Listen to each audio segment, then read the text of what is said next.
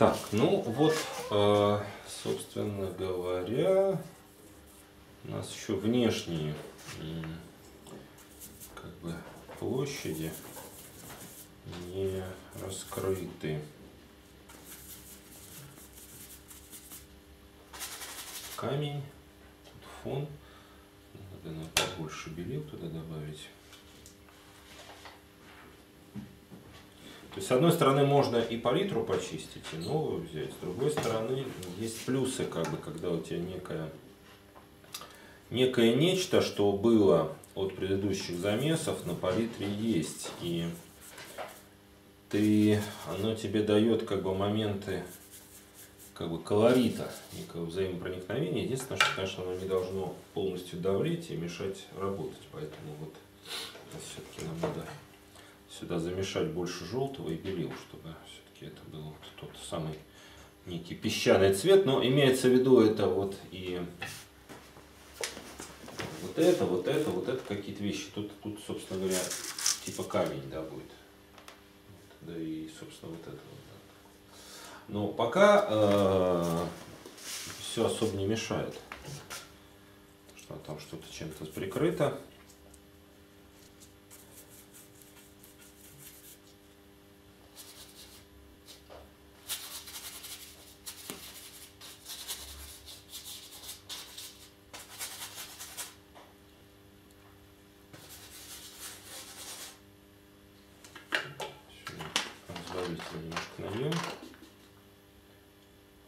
Флейт собрать побольше баночку, чтобы не умокался.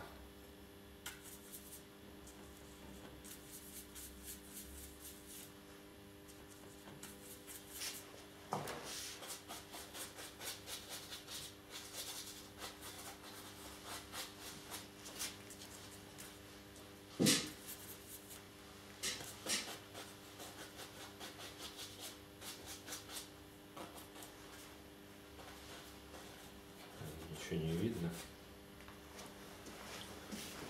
Немножко видно что-то, да? Надо, наверное, нам поставить поближе камеру. Так вот, наверное.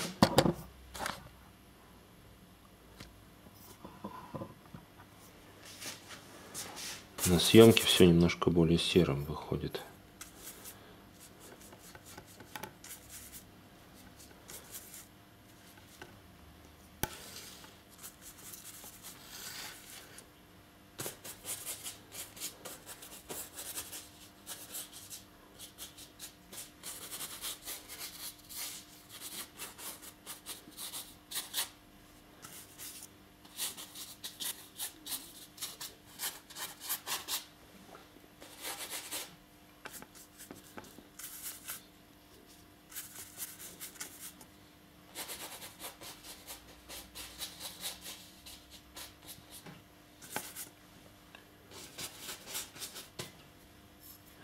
Так, ну, все-таки надо отодвинуться, чтобы нам одновременно работать в разных местах, иначе это все не видно просто получается.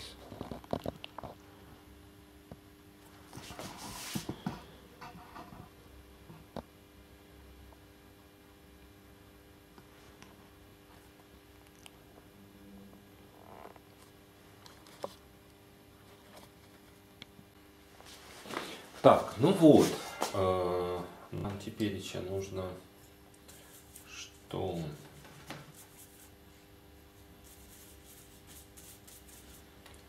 это немножко посветлее тут местами. Тут может где-то чуть тут точно где-то посветлее. Да этот камень потом его еще наверное будем светлить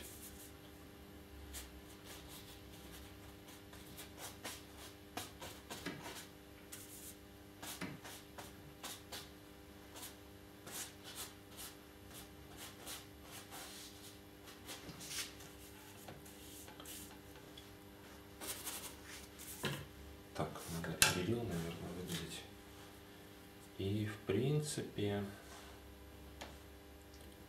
сейчас какое-то время надо будет, конечно, чистить палитру, но пока можно, наверное, обойтись так, потому что принципе, вот на гипсе тоже много теней. То есть гипс, он, другое дело, что он не, не светло-коричневый, конечно же, но как бы сложнее.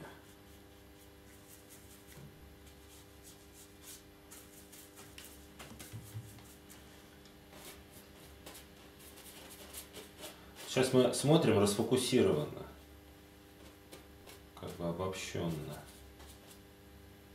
Ну, понятно, что желательно сильно-то не косячить, но все-таки как бы, да. То, то, что он белый, он же не белый, и поэтому вот, собственно говоря, мы его в полутонах примерно так-то можем и взять даже. Даже не будет сильно темно. Чем какой парадокс. Но э, гигантский плюс этого, то, что мы избавляемся вот от этого белого торчащего холста, который нам, конечно, сразу любое наше действие на, на его фоне кажется очень темным.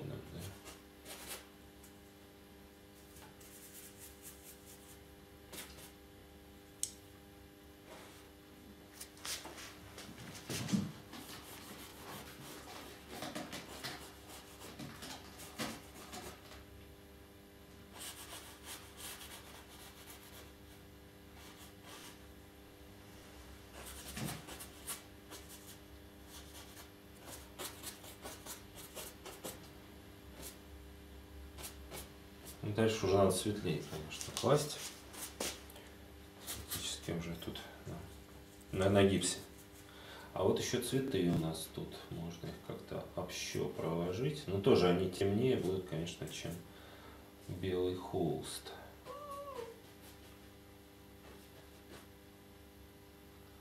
Нет, тоже какие-то отдельные.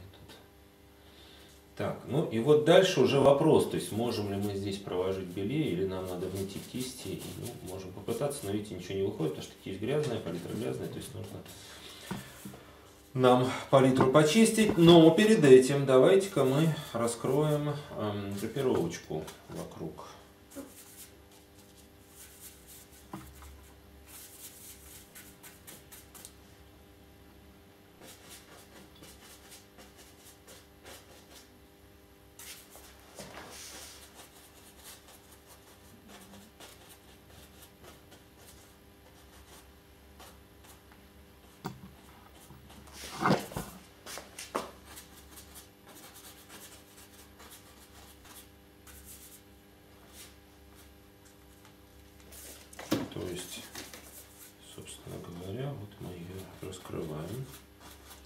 берем фактически желтый голубой, но примешиваясь к той грязюке, которая уже есть, она нам примерно дает нужный искомый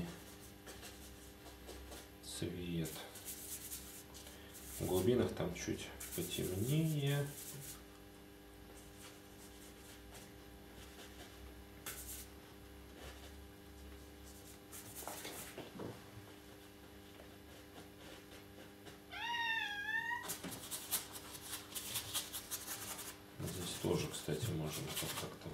Открыть еще.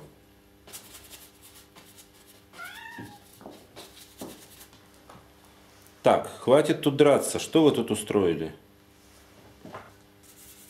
Кошки. Кошки спаррингуются. Но, с другой стороны, это их, конечно, форма тренировки для поддержания, а, опять-таки, формы, да, поэтому, может быть, это и хорошо, что они постоянно спаррингуются таким образом они будут в хорошей борцовской форме.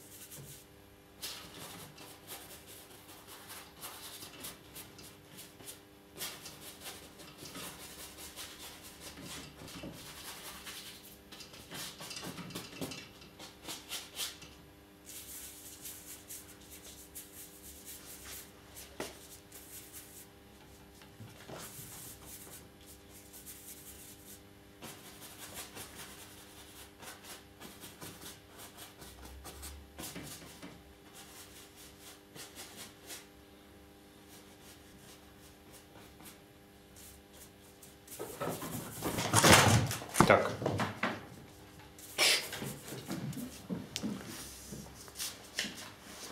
Главное, чтобы они камеру не повалили.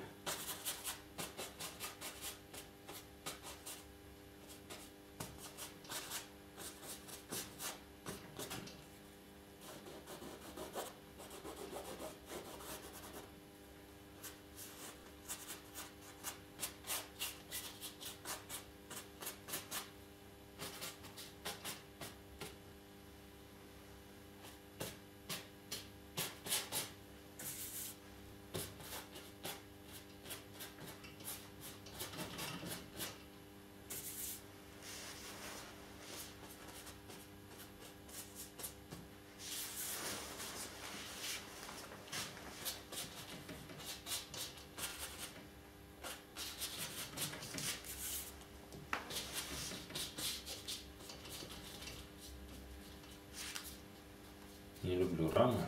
Да. Неудобны, дорогие и неудобны в смысле быстро портятся при любых переездах. Поэтому, мне кажется, в наше время картина без рамы лучше намного, чем раме. Ну вот примерно получается, что мы таким вот образом завершаем раскрытие, так называемое, да?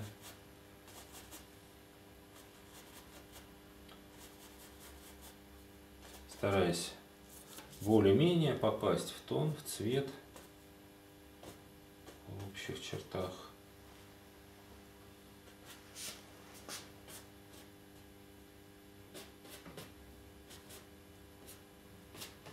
Вот. Ну, дальше нам нужно мыть, конечно, эту кисть уже, мы работать не будем. Вот, и немножко делать какой-то перерывчик. Потом сверху все как бы лучше всего перераскрыть уже отталкиваясь от того, что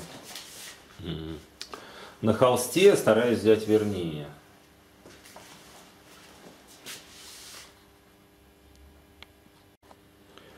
Что же мы получаем вот за счет раскрытия, да? Почему хорошо именно раскрывать, причем достаточно бодренько? Мы получаем среду, среду, в которой все происходит. Знаете, можно такой, наверное, аналог провести, что вот если бы мы